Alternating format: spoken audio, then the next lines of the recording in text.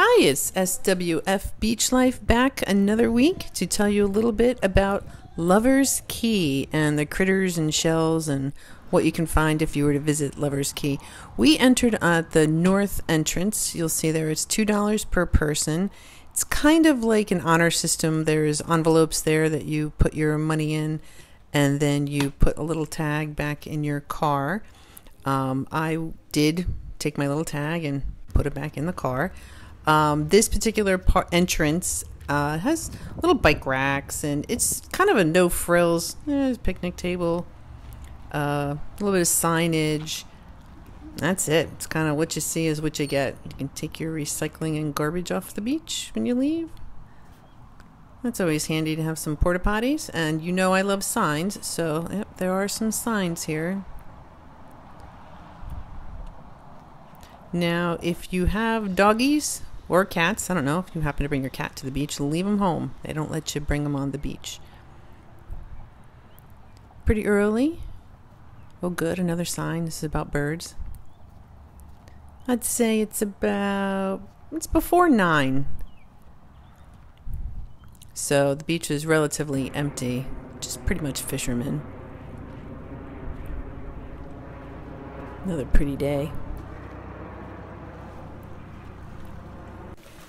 So this is what we got, uh, what we saw when we first got there. Not that many shells. Although I did see a woman with a big old bag walking back. I passed her. That is an urchin. It has covered itself with shells. Kind of neat. So I was hopeful we would get shells. That's a sea star. It's alive. Never seen one all bent up like that. See him moving around in there? Oh, that's kind of neat. I made sure he would live another day, so just kind of scooped him up and put him back in. Just to make sure. Be nice to the sea critters. So I was hopeful that we'd get some good shells, although definitely on this part of the beach there really is nothing to uh, nothing to mention.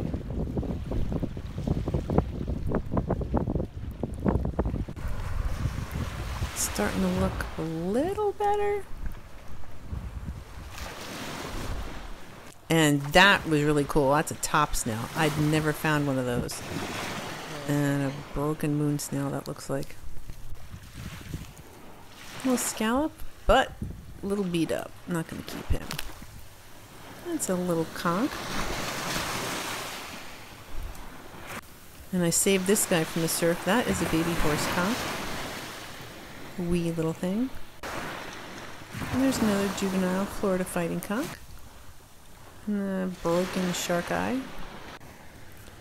An olive, but it's broken. Wow. So they did have shell piles, nothing like I found at Blind Pass or any other places I've been, but um, they're there. There's your perfunctory uh, pelican shot. There's a little whelk. Little beat up. And another one. A little broken. And that looks like a turban, maybe? Broken. Little, little conch. No good. No good. Pretty. But had a little something on it. It's another little Florida fighting conch. Now, that you probably know, but if you don't, that is a dead, clearly dead sand dollar. Those are fine to take when they're dead, not when they're alive. If they look like this, this is from a different day, but I just wanted to illustrate. This is what a live one looks like. Don't ever take this home. That is alive. That needs to go back into the water to finish doing what it's doing.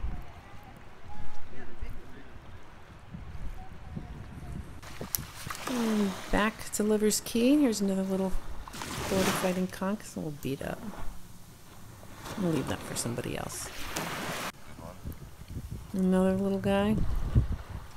Give it a little inspection and put it back. That's pretty good. Ugh. I thought it was a pretty good whelk. Oh well. A little Murex. He's cool. I'll keep that one. And an olive. Ah, yay. This one's not broken. That's a calico crab, just a shell, but super colorful. Let's see. Another little juvenile conch shell. Oh, little whelk. Next to another top snail. Today was the first, that was the first day I'd ever found them. Oh, that's a beat up moon snail. Oh well. That, a paper fig. It's kind of cool. Ugh. We kept finding broken tulips all day. It was very disheartening. That is a hagstone. Hagstone is any stone that has a natural hole or a hole in it um, created by water. So that's kind of neat. Little baby conch. And a uh, moon snail. He's busted. Fun facts uh, those moon snails eat other bivalves and they drill a little hole in it and suck out the muscle. That was those pavilions was mid island on Lover's Key. That is a beat up crown conch. That is a jingle shell. That is a beat up murex. That's a scallop. Yeah, it looks good enough to keep. And now he's going to find some birds on the beach. This looks like some terns and some royal terns.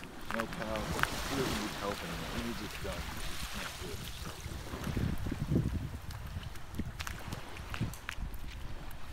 So we're making our way all the way down to the end of Lover's Key.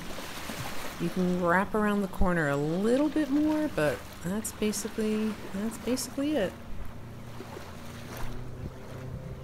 Let's if you go a little further. Some good photo opportunities.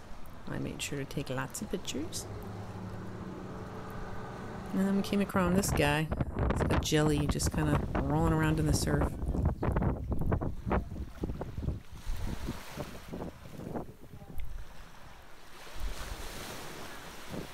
And then a nutmeg. Those are hardy little things. I like those nutmegs. And another pelican getting something to eat. Now we're heading back out, and this the, the morning where there is nobody there. Not the case now. Fills up pretty quick, and that is someone checking to make sure you're going to pay when you come in. So maybe not so much of an honor system. So we came in on the north end, which is all the way up here, and then we walked around and down all the way as far as you can go. That middle part is where I'll get back to that. So that's the very end. The you can enter here and park and you're going to be much closer. You're not going to have to walk as far and you'll be able to rent kayaks and bikes and I'll tell you about that some other time.